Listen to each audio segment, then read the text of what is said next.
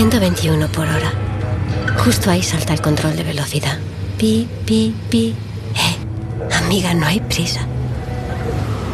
La tecnología ha avanzado mucho, pero no hay tecnología mejor para evitar que corras que pensar en el tiempo que llevan sin verte.